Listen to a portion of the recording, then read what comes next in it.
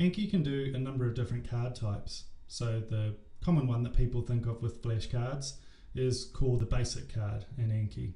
So it has a front and a back.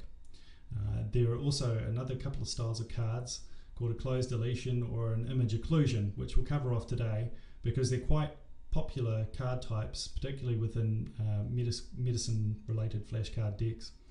And so you're likely to come across them. Uh, and we'll spend a couple of clips going over how you would make each type. I just want you to be aware of what they are uh, for this clip. So your basic card type is going to have a question on the front and an answer on the back.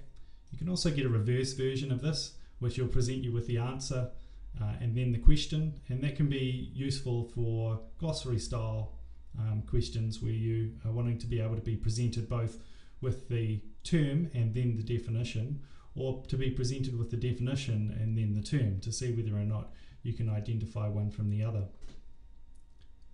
The second type of uh, card is called a cloze deletion. And instead of having a front and back, that has a complete the sentence style question. So when I click to see the answer, this is going to fill in this blank. That's really common in topics such as pharmacology, where you're wanting to look at, say, the class of a particular drug. The third type of card that we'll cover here is called an image occlusion. And that presents you with an image with the labels missing and asks you to fill in each of them. So if I click to see the answer, it'll then present an image with the labels filled in. Now that's called a complete image occlusion card because all of, it asked for all of the labels and then presented me with all of the answers.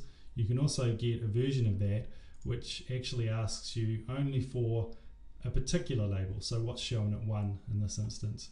And then when you click through to the answer, it's just going to give you the answer for point 1. That can be really useful for focusing on items that you're not so great at remembering because what it will do is for the items that you're doing quite well at, it's going to push them way into the future. So you're not likely to see those cards very frequently. Instead, what you'll see is the cards you're having trouble remembering.